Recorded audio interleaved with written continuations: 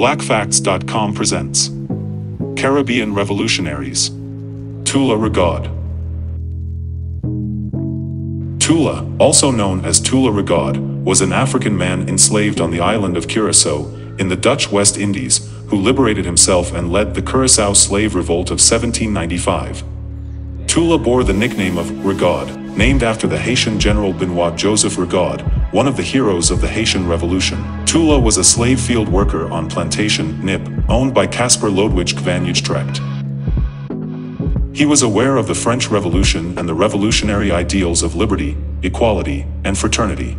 He knew that the French revolutionary regime had occupied a large part of Europe and that this regime wanted to abolish slavery in the French colonies.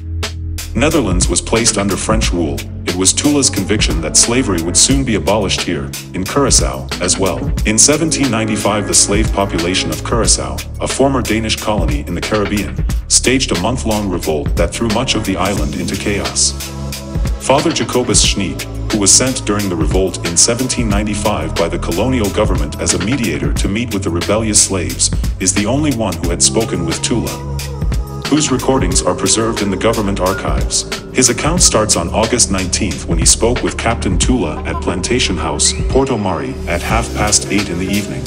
As Father Schneek conveyed the proposals of the government to Tula, Mr. van der Grijp, a horseman captured by the rebels, heard the rebels say in French, Le cure vient ici pour nous cajoler, the priest comes here to flatter us. Schneek also heard the rebels softly singing French revolutionary songs at night.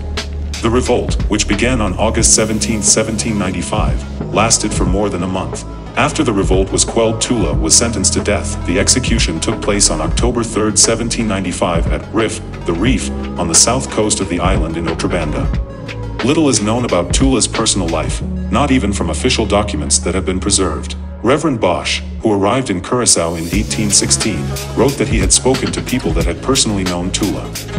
They recalled him as articulate and a man of great stature. He is revered in Curacao today as a fighter for human rights and independence.